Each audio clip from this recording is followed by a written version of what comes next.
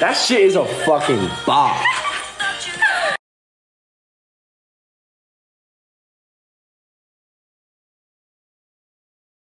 Fuck your life. Stop! I Bing told bong. him stop come here. I told him about how we watched Never Say Never the other day and we cried. Classic film. Ooh, fucking requests on TikTok. I'm not. I didn't know these people. Boo. When I 13, Fuck all that. I had my first love. There was nobody that compared to my baby, and nobody came between us or could ever come above.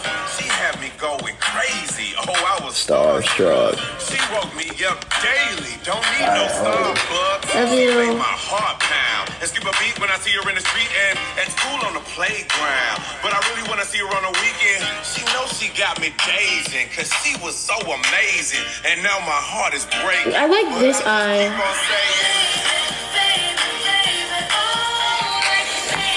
I don't know what's going on with this one though.